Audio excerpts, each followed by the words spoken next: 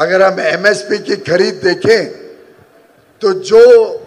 कांग्रेस के समय मात्र 3,400 करोड़ एमएसपी की खरीद तेलंगाना में होती थी 2014 तक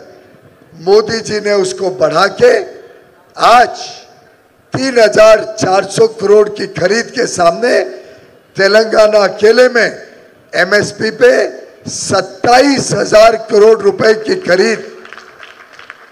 किसानों से केंद्र सरकार करती है, जिससे लाखों लाखों किसान को लाभ होता है। तेलंगाना की सरकार सोचती है कि उन्होंने एक स्कीम किसानों के लिए दी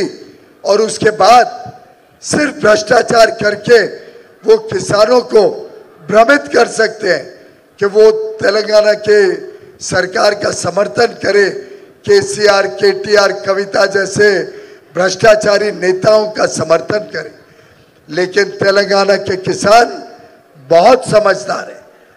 वो जानते हैं कि राज्य सरकार अगर एक तरफ़ को देती है तो उससे ज़्यादा नुकसान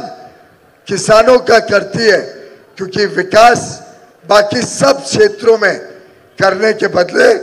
वो सिर्फ़ भ्रष्टाचार के ऊपर अपनी सरकार चलाती है।